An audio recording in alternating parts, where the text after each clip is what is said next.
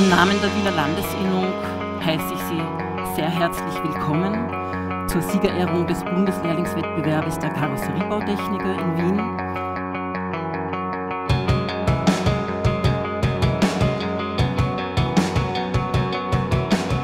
Ich will den jungen Menschen einmal gratulieren, ganz, ganz herzlich und zwar allen, die hier beim Bundeslehrlingswettbewerb sich qualifiziert haben.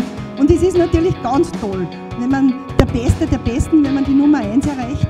Aber ich glaube, mit ein bisschen Abstand ist es vielleicht gar nicht so wichtig, ob man ersten, zweiten, dritten oder vierten Platz gemacht hat. Sie sind einfach die Besten ihres Jahrganges und ich denke, die jungen Menschen dürfen das nicht vergessen, wenn sie sich wo bewerben bzw. in ihrem Lebenslauf. Der dritte Platz geht an Marvin Müller aus Kärnten von Kenzian Ottmar.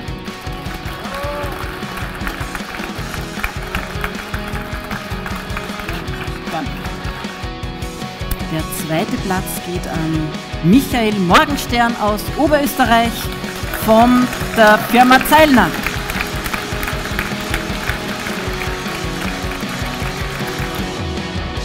Der erste Platz geht an Nikolaus Schlössl aus Wien von Rheintal Man Military Vehicles Österreich.